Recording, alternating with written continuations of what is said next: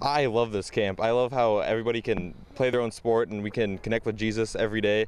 And it's just nice to be able to go back to the chapel and see everything be done. Like, see, connect with Jesus, connect with everybody. And then every day you get to come here with the coaches. They can teach you all the good things that you need to learn about the sport.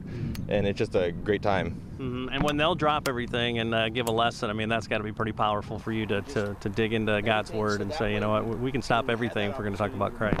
Oh yeah, they just take an entire week out of their lives to take like us children just to teach us about Christ and teach us about the sport, and it's just very powerful how they can show uh, their kindness to do that. What does this week do for you as far as coming out of it too? Is that uh, pretty motivating to say I, I'm going to really try to do a great job of quiet time and uh, applying what I've learned to my sport to be a to be a competitor for Christ? Yeah, I'm gonna try to keep up with reading the Bible, keep up with devotionals, do all those things, and keep after it. What would you tell the, the your your classmates, I guess, who might be a little hesitant to come to an FCA camp? Why should they? This is probably one of the funnest camps I go to this summer. Like I go to about maybe three of them, and this is definitely number one. This is my favorite.